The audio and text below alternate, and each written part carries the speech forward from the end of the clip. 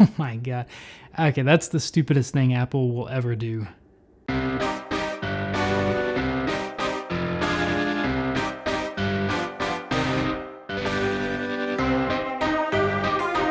it, I'm switching to a PC.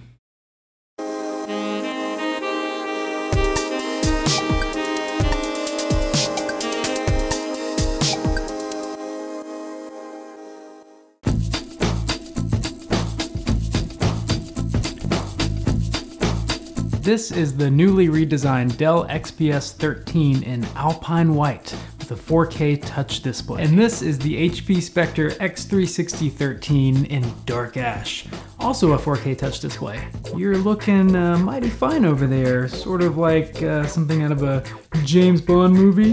Thanks, you're not looking too bad yourself. Sort of classic MacBook meets modern iPhone. Well, uh, thanks. So, what you doing later?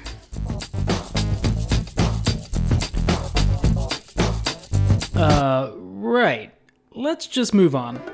So this is not an apples to apples comparison, obviously. Aside from looking like polar opposites, the HP Spectre X360 is, like the name implies, a 360 degree convertible, going from a classy looking business laptop to oversized and overweight tablet in literally the flip of a screen. While the Dell is lighter, smaller in overall size, and looks like it came out of the Nintendo factory, which is kinda cool. But apples and oranges be damned. Let's put these things head to head and see what happens. Both of these laptops are nice. The HP has an all aluminum shell in a beautiful color, opens fairly easily, although it's still probably a two-handed operation, and is certainly quite a looker. But the hinges are a little too loose, and the screen annoyingly shifts position when you're moving it around, and oh boy, Look at that screen wobble.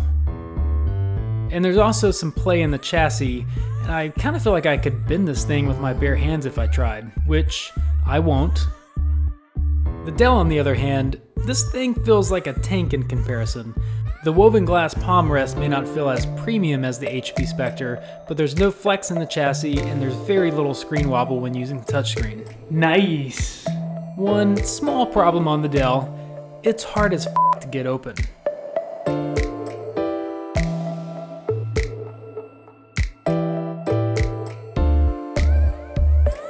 When it comes to build quality, I'm gonna give this one to Dell. The HP Spectre feels a little thinner, but the Dell XPS has a smaller footprint. At the end of the day, the XPS 13 feels like something I can throw in a bag and take everywhere, and I don't feel like I'm gonna break it.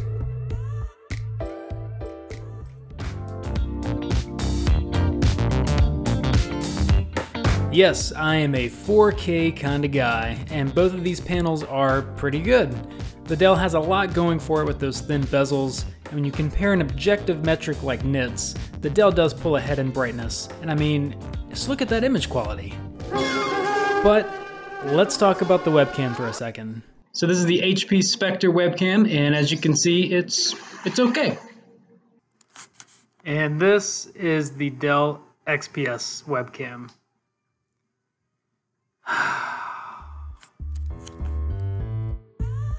I actually don't care too much about the webcam, but I do care about Windows Hello, and I like being able to unlock the laptop just by looking at the screen. And you can see just how ridiculous the Dell webcam placement is when you're trying to set this up.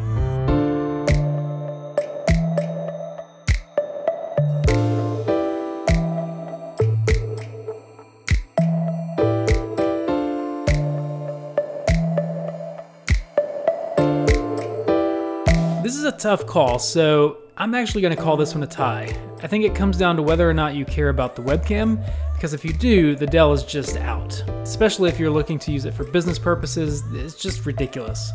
If you don't care about the webcam, I think the Dell pulls slightly ahead for smaller bezels and a higher peak brightness.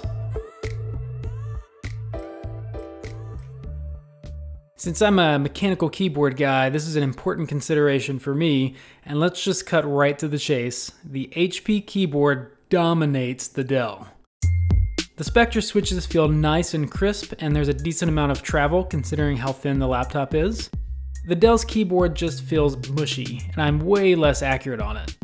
But it's not a 100% clean win for the HP Spectre because of that extra column it has on the right side with keys for things like home and end, which I guess is convenient for some people, but really messes with my ability to touch type.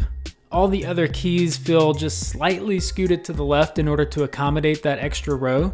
So even though the Dell is kind of spongy to type on, at least I don't get off center and end up hitting page down when I'm just trying to hit enter. But, but, the Dell isn't without sin with that silly key placement for page down and page up. If you use the arrow keys a lot, God have mercy on your soul. When it comes to the keyboard, the HP Spectre 13 takes it. Despite the extra column of keys that I find useless, the HP is far more delightful to type on.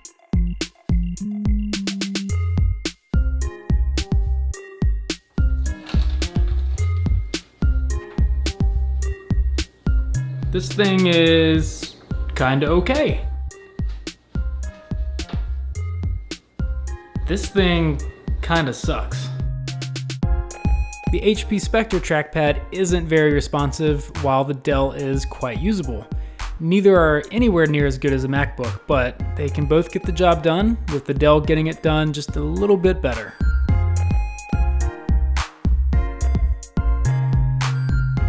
These are both 4K screens, so they're both battery hogs.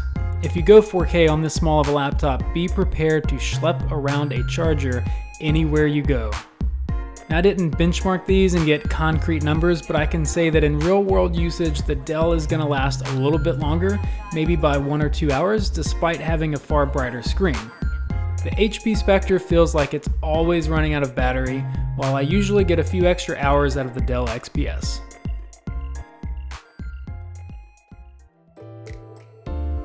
So these are both good laptops, but I did have some major problems with the Dell. Within the first few days of getting it, it stopped waking up from sleep when I opened the lid or hit the power button, and it took a nearly two hour call with their tech support to get it fixed. And their solution? Just reinstall Windows. Another nasty surprise I got with the Dell is something called Content Adaptive Brightness Control, which despite being really hard to pick up on camera is some weird setting that changes the brightness on the screen based on what's on it. As a designer who works with color and contrast for a living, it's really hard to concentrate when your screen is flickering, which is just unacceptable. The HP Spectre, on the other hand, has caused me no trouble and has looked damn good while not doing it. The brightness doesn't shift around while I'm trying to work, and I make far fewer typing mistakes on its superior keyboard.